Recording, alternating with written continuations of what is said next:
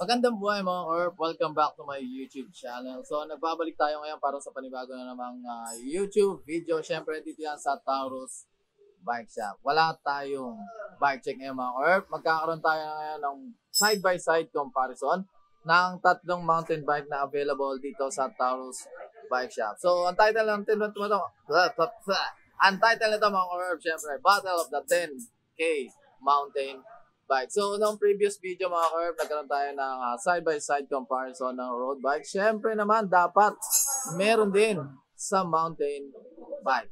Yan. So, meron tayo dito mga curve na Tosix X Force 2.0, ang Promax PM18 at ang Promax PMX18 Plus. Ayan. So, ipapakita ko sa inyo yung talagang uh, pinagkaiba ng tatlo na to. At itong tatlo na to mga Orb, meron akong bike check nito sa aking YouTube channel. So, search nyo lang or browse-browse nyo lang din pababa sa aking uh, channel. Road to 17,000 tayo. So, ano pa hinintay natin mga Orb? Simulan natin ang bike comparison ng tatlo na to. Okay mga Orb, ayan yung ating uh, pagkukumparahin.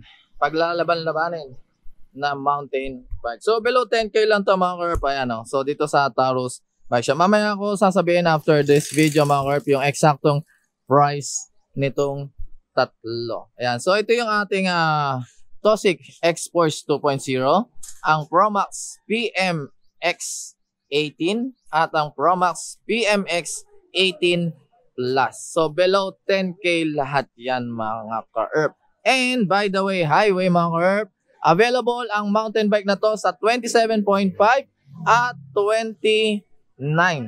And same price mga ka So saan pa, 'di ba? So same price ang 27.5 at same price din ang 29. Kahit anong piliin yung size, same price lang siya.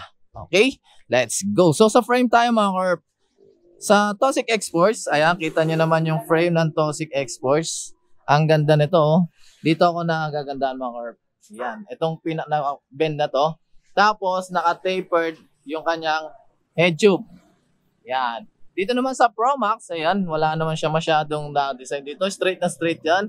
And dito sa head tube niya, straight to mga carp. Mukha lang siyang tapered. Ayan. Kasi meron siyang uh, parang uh, bukol dito. And syempre, ganun pa rin sa Pro Max PMX 18 straight pa rin yan. Okay. So, syempre, puntos na agad sa ating toxic. And suspension fork naman tayo mga carp. Sa suspension mga carp, halos magkakamukha lang silang tatlo na mayroon silang manual lockout and then preload. Lahat yan ay made from bakal. Yan, may preload, may ma uh, may manual lockout and may preload, may preload, manual lockout, Ganon din sa kabila. So, halos pare-parehas. Tayo silang tatlo. Okay? Sa hubs tayo mga corp. Yung hubs, ayan, bakal. Yung hubs dito, bakal. Yung hubs dito, bakal. Ang napansin kong pinagkaiba mga corp, itong uh, Promax PMX 18, medyo payat yung kanyang hubs, parang uh, hubs ng road bike. Kung makakikita nyo mga, payat talaga siya. Compare mo dito, ang kapal, Iyon. Okay. So, uh, yung mga rayos naman nito mga carp, halos same. Made from bakal yung mga yan. And then, sa rims tayo, halos same sa rims. May letter H lang to. Yan, kita nyo naman. Oh. Then dito, hindi siya H. Yan. So, same na same sa rims ng ating uh, tatlong bike. Then sa gulong, halos magkakamuka.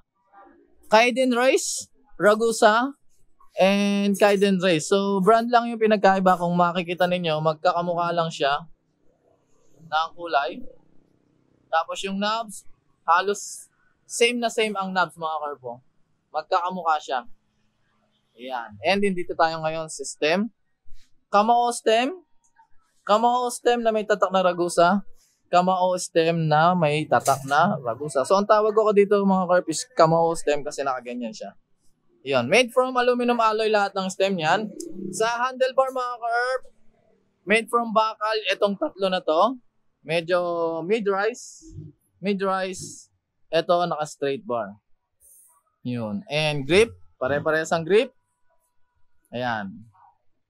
Pare-pares lang siya. Then, sa ating uh, brake, dito tayo magkakatalo mga curve. Sa uh, brake natin, naka-hydraulic brakes na micro shift, naka-mechanical disc brake, and naka-Shimano MT200 na hydraulic disc brake. Itong ating Tosic X-Force. So, lumamang na din si Tosic X-Force. So, Shimano MT200, may hydraulic brake, mechanical brake, hydraulic brake na uh, micro shift. Then sa shifter tayo mga curve, L2A3. So kung hindi ako nagkakamali, 8 speed ito mga curve.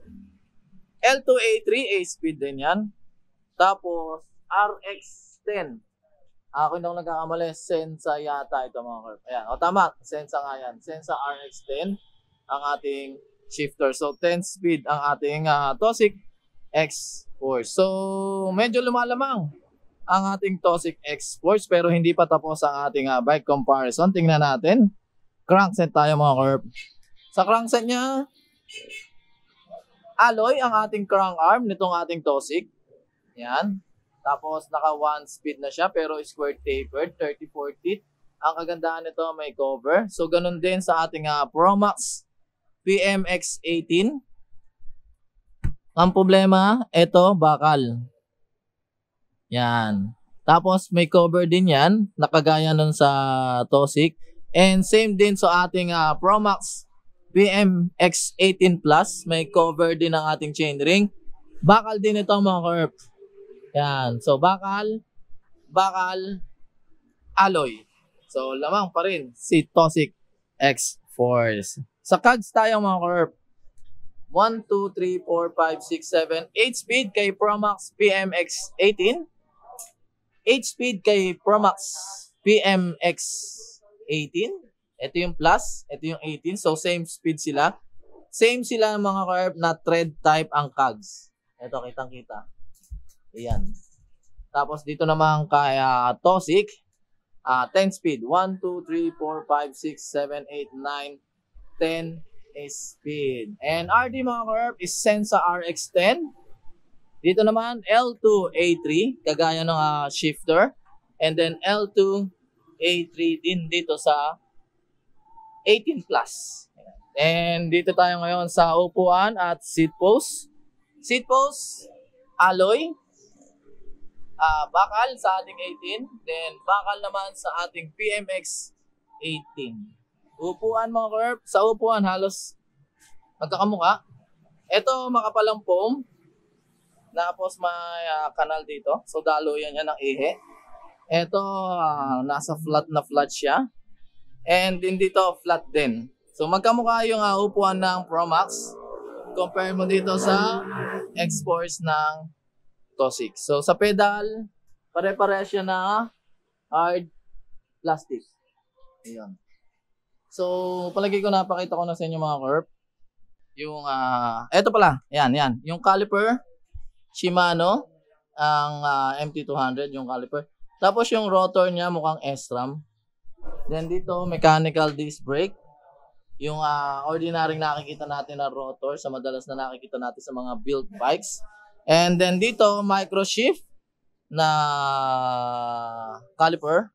Then ganun pa rin yung kanyang rotor. Yun. So, palagi ko nakita, pakita ko na sa inyo mga curve lahat ng uh, parts ng side-by-side comparison ng tatlong mountain bike na ito.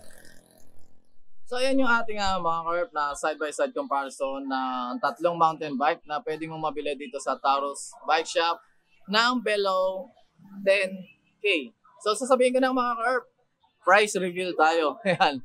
Ang Tosic X Force 2.0 is 9,500 pesos. Ayan eh. So, kung may budget ka na 10 10,000, so, pwede mo i-consider tong tatlo. Ito namang uh, Promax PM18 na mechanical disc brake mga curve, uh, 6,700 pesos. Samantalang yung ating uh, Promax PMX 18 Plus is 7,800 pesos. Again, mga curb, uh, same price ang 27.5 at 29 na mountain bike. So, bahala na lang kayo kung anong gusto nyo. So, ayan yung uh, ah, side-by-side comparison ng tatlo. So, kung below 10K, talagang nagtitipid ka, ayan, meron tayong 6.7, meron tayong 7.8, at meron tayong 9.5. So, malapit na ang graduation. Maraming baka manghingi ng regalo na bike dyan. So, dito lang sa Taurus Bike Shop. So, hanggang dito na lang mga curve. Uh, kita-kits tayo sa susunod na video. Maraming salamat sa panonood. Don't forget to subscribe. See you on the next video. Paalam. Bye-bye.